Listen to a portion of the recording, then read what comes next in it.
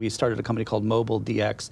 It's the first company actually to, to have uh, released what I call the Snap and Send eye exam. It's called EyeSnapi, and the app is really designed to give people um, who are in remote locations or can't make it into the office or in a situation where they're just out of touch with their doctor to at least give the doctor a, a view and some imaging. They could also look at what the uh, vision is, and they can also do a visual field to give the doctor a little heads up as to what, how, how urgent, how necessary is it that they go to an emergency room and, and take care of that, or is this something that can wait? And I really do think that this is a technology that's going to be um, more and more important, especially with dermatology. We're uh, just on the verge of releasing a dermatology app similarly, and we're going to be releasing apps across the board in every area of medicine. So what's the limit? Where do you draw the line in terms of an app that you can create where you can do an exam at home? I mean, you have, you know, of course, people are going to be taking pictures of their strep throat.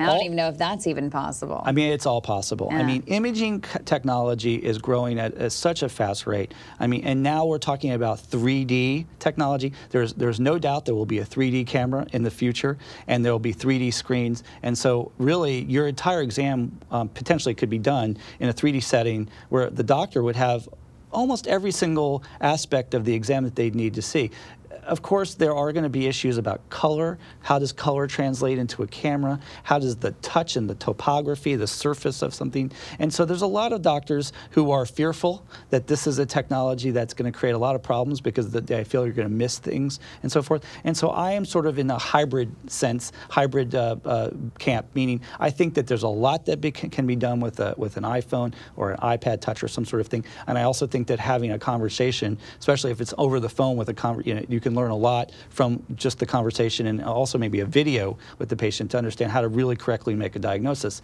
Are a lot of doctors on board? A lot of doctors aren't. They're very concerned that this is a problem uh, because they don't know that they can get the right information. It's you know, without sounding, you know, part of the young club, I mean, basically the younger doctors who are coming up, who are born on this technology, who've been using iPhone apps, you know, iPhones and new tech and, and, video games their whole life, they're very comfortable with that. And some of the older older doctors who aren't as nimble, let's say, with computers, are having problems without being, you know, I mean, that's just the reality of new technology. Are you afraid that you're too much ahead of the curve? I know there are a lot of companies and they come out and they, for example, I was doing online videos back in 1999. I was one of the first right. web-centric video reporters and that company ended up switching gears to video conferencing because there was too much buffering at the time. They couldn't wait another 10 years for it to truly catch on and wait for the technology to catch up. So the beauty is that I've, I've been doing it in my practice and other doctors have been doing this for years. One of the first examples was when I was a resident and we took pictures of the eye and sent it to our attendings with a Palm Treo. So that was a long time ago. It's an old technology. The Palm doesn't really, the Treo doesn't exist.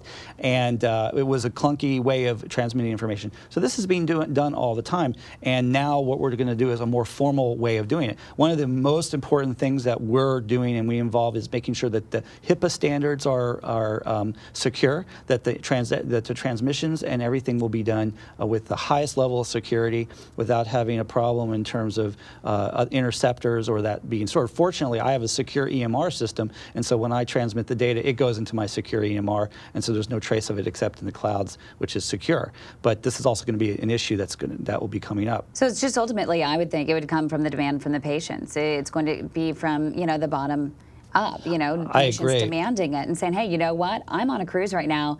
I have this issue. I can take a picture of it. I'm going to email it to Absolutely. give me your email. Exactly, and it's already happening. I mean, there's a, the patients already demanding, uh, and, and, rightfully so, to be able to communicate with their doctor with email communication, and that's starting to happen. Mm -hmm. And the next step, step is going to be something like EyeSnapi or whatever net manifestation it comes out, and the patients will push this because um, it's always great to see the doctor, but sometimes you can't make it to see the doctor. So many examples. Let's say you're stuck up in the mountains and there's a snowstorm and you it's better to do that than to do nothing at all.